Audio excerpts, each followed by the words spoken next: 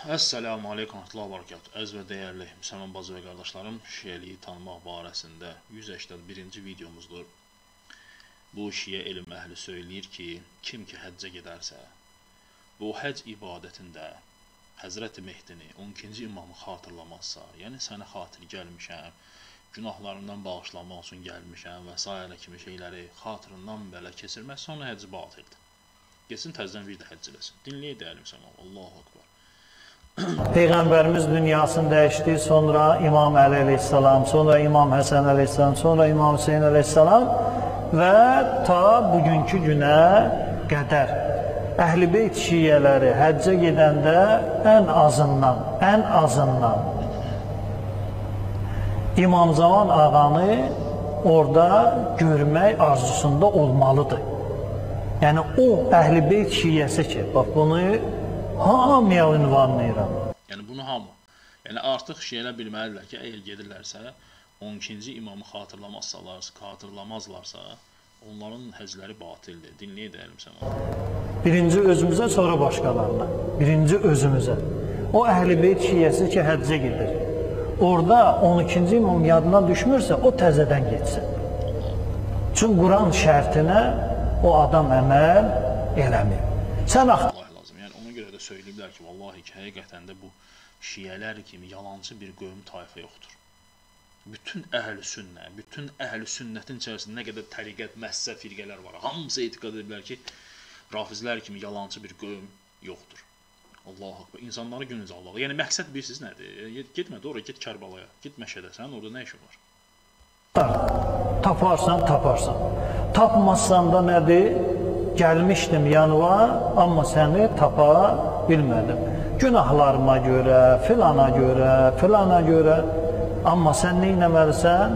Onu orada axtarmalısan. O hacı ki, həccə gedə və orada 12-ci imam heç yadına düşməyə, həmən bu adam Allahın göstərişi ilə getmir. Allah deyir, həccə gedəcəksən, həcdə Ərəfat var, Mina var, filan var, Kəbə var. Birinci kimin yanına getməlisən? yətukə sənin yanına. O sənüvi tapmalısan. Yəni təsəvvür edirsiniz ki, yəni nə qədər bunlar yalan danışırlar və insanları aldatmağa çalışırlar ki, yəni ayəti götürüb, ayəti istədiyi kimi yozur. Yəni yətukə, yəni səni axtarır. Yəni səni kimi? Hə Mehdini. Sən Mehdini axtar. Mehdini hardan tapsın? Mehdi bir doğulub dünyadadır. Mehdi qiyamətin əlamətlərindən də hansı ki, doğulacaq anadan, atadan dünyaya gələcək və müsəlmanları birləşdirəcək. Bu əhlüsünnə etiqadıdır. Bu, bu yəni bu demək istəyir ki, yəni sən e, qeybdən gələn bir Mehdini tapmalısan orada. Yəni bu da ayə. Halbuki Allah Taala'nın ayətini belə, Allahın adından belə yalan danışır bu insan. Subhanallah lazım. Yəni Allah Taala Qurani-Kərimdə buyurur ki, şirkdən biz bilir ki, böyük bir günah yoxdur. Şirk ən böyük zülmdür, hansı ki Allah Taala edilir. Ondan da böyük, ən pis bir şey Allah Taala Qurani-Kərimdə buyurur ki, Allahın adından elmsiz danışmaqdır. Baxın, bu insanlar necə sıravi cahil müsəlmanları aldatmaq üçün Allahın adından, Allahın kitabının adından ayətləri belə öz nəfslərinə uyğun belə yozublar ki, tək ki insanlar nədir? İnansınlar. Gəldim sənin yanına. Onu tap şərt 4 tapasan ki, O ancaq dörd naibə məxsus olub. İmamı həcdə tapıb. Kəbə devrlərinin yanında səhih sənət hədisdə Şeyx Səduqun Kəmaləddin və İtmamın Nəhmə kitabında yazır ki, gördüm 12-ci imamı Kəbə evinin yanında bu duanı eləyirdi. Yəni bu rivayətlər hamısı uydurma rivayətlərdir.